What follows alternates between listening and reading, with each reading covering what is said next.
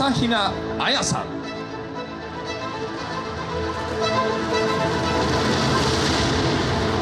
すごーい。都会でございます。でこの下が会場です。あちょっとアップできた。あそこにこの後出発します。皆さんこんにちは朝日奈彩です。本日はですね12月7日に今和の国のアリスワールドプレミアムが18時から開催されるんですけれどもその様子を YouTube で公開していきたいなと思いますので皆さんぜひ最後まで見てみてください。で今は控え室に入ってでネイルを落としてもらっているところです。その前に今日は1本収録のお仕事をしてきたのでメイクはしてるんですけどこの後メイクを直してもらって衣装に着替えて登壇させていただきますので皆さん少しお待ちください。はい今メイクが終わりました。これからマスカラ直していきます。髪もやっていますよね。ヘアメイクの神戸さんです。オッチでもねすごくお世話になってるヘアメイクさんなんです。で今からマスカラを直します。今日はどんな髪の毛にするんですか？今日はちょっとかっこいい感じにしたいのでかっこいい感じに。オールバックにしようかなと思ってオールバックに。マスカラ塗ってる側ってめっちゃブスじゃないですか？なんでこっから回し始めたんだろう？失敗した。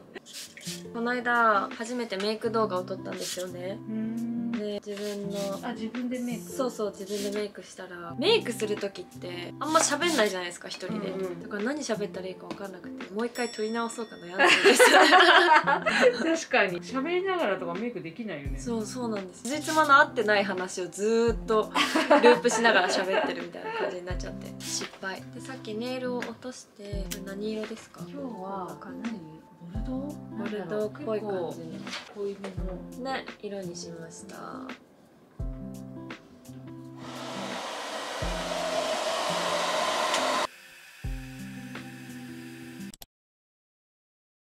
はい今衣装着替えました。この上からジャケットを羽織るんですけども今はとりあえずワンピースを着ていろいろ調整してもらってます。衣装はアディアムでアクセサリーがカルティエです靴がマノロ。靴がマノロです。ちょっと衣装を後でお見せした時に改めて紹介します。今はボディクリームを塗ってます。ボディクリームってこうやって塗っちゃいけないんです。よあ聞いた聞いた。こう横に塗っていく方が入り込むんだっ細てしっかりと浸透するらしい。テレビで見た。何色にしますかリップ？なんか茶色だと行き過ぎだよね。行き過ぎっていうの？はちょっと赤み系の方があーいいのかななるほどね。と思ってそう。赤みの方が映えるは映えますよね。うん。チキンにしましょうか、でも確かに色味がある方がいいかもしれないです、うん。暗く見えちゃうかなって思って。リップ塗ります。んが赤い。マットです。うん。今日のリップ。ナズうん。いい色。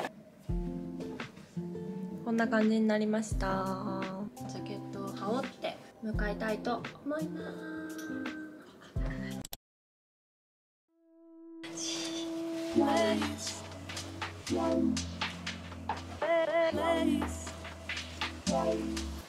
さあというわけで準備が完成しました。衣装も真っ黒なこうジャケットを着て下はチュールのスカートです。アクセサリーもねシルバーで統一させてオールバックにしてます。これからイベントに行ってきます。朝比奈彩さん。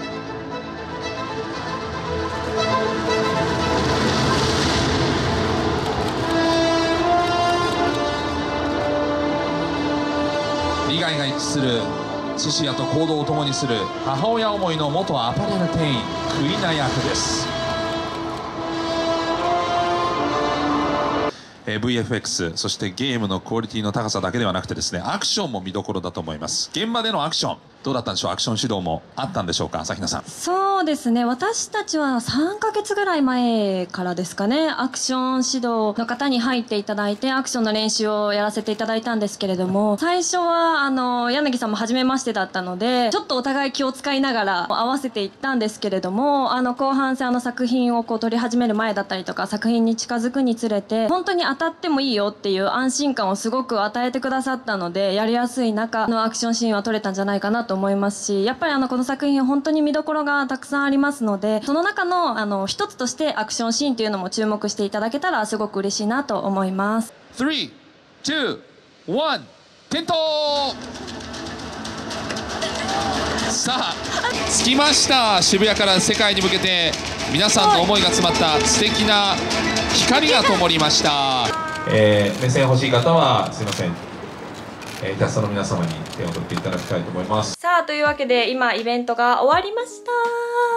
アーカイブが残ってるってことなので Netflix Japan の YouTube と Netflix Japan の Twitter でこの配信の様子が見れ見れるんじゃないかなと思いますのでそちらの様子も見ていただけたらすごく嬉しいなと思います。こんな感じで自分がこう普段やってるお仕事とかもどんどん作っていきたいなと思いますので皆さんにこれからも見ていただけたらとても嬉しいなと思います。さあそれでは、えー、と次の動画を見ていただくためにチャンネル登録の方よろしくお願いします。そして、えー、とこの動画がいいなと思ったらグッドボタンもよろしくお願いします。さあそれでは次の動画でお会いしましょう。朝日奈でした。じゃあねー。